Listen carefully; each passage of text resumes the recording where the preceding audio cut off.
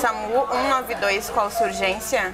São 450 mil atendimentos como este que o estado do Rio Grande do Sul recebe em média por ano pelo SAMU. O serviço é de graça, funciona 24 horas e 7 dias por semana. Qual o seu nome? O nome do paciente? Ele está desmaiado? Aguarde na linha que eu vou passar a ligação ao médico, não desliga. Depois do médico avaliar a situação do paciente, a equipe do SAMU é acionada.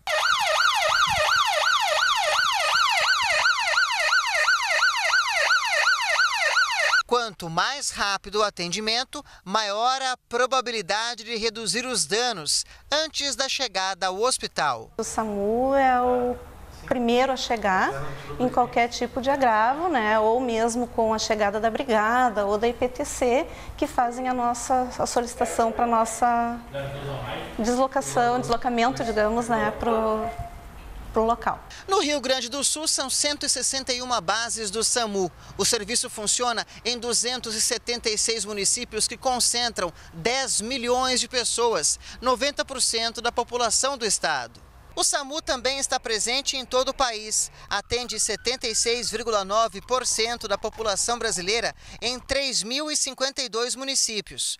Para renovar parte da frota de veículos, o presidente Michel Temer entrega nesta segunda-feira novas ambulâncias a 19 estados, incluindo o Rio Grande do Sul. Essas ambulâncias são extremamente fundamentais porque uma ambulância é, em, que não tem boas condições é uma ambulância que vai toda hora estar indo para oficina, vai estar parada. Quando a população precisar da ambulância, ela vai estar em manutenção.